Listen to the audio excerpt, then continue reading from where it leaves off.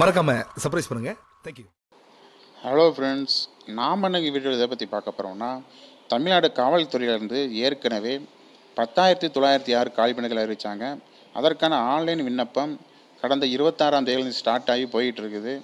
இப்போ காவல்துறையிலேருந்து அறிவிப்பு கொடுத்துருக்காங்க. என்னன்னு கேட்டிங்கன்னா தமிழ்நாடு சீருடை பணியாளர் தேர்வு குழுமம் கடந்த பதினேழு ஒம்பது ரெண்டாயிரத்தி இருபத்தஞ்சு வெளியிட்ட மேலே சொல்லப்பட்ட தேர்வுகளுக்கான விளம்பரத்தில் தீயணைப்பாளர் பதவிக்கான மொத்த காலிப்பணியிடங்கள் நானூற்றி ஐம்பத்தி எட்டு என தெரிவிக்கப்பட்டிருந்தது.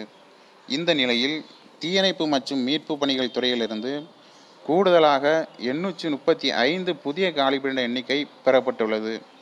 எனவே இத்தேர்வில் தீயணைப்பு மற்றும் மீட்பு பணிகள் துறைக்கான மொத்த காலிப்பணியிடங்கள் ஆயிரத்தி இருநூற்றி தொண்ணூற்றி மூன்று என்ற விவரம் தெரிவிக்கப்படுகிறது என்று தமிழ்நாடு அரசு சீருடை பணியாளர் தேர்வு குழுமம் ஒரு அதிகாரப்பூர்வ அறிவிப்பை வெளியிட்டிருக்கிறாங்க.